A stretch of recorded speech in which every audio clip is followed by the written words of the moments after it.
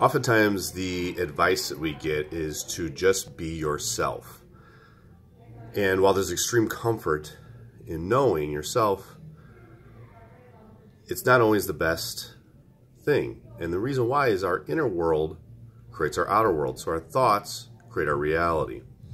So when someone says just be yourself, we need to internally reflect and say, okay, well, my outer world is showing me these experiences. Is that really my true authentic self? So do I really want to be myself? You know, what is what what's really going on? So, you know, you aren't if our inner world creates our outer world, you aren't those health challenges. You are not those bad relationships. You were not meant to be broke. So, do you really want to own that? So, is really being yourself what you want? And you have the power inter internally within you to change that if you choose.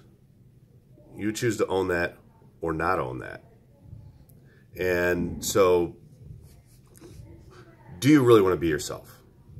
That's that's that's the question. You have to do some deep soul searching for that, because the true authentic self and the true you is meant to have unlimited possibilities.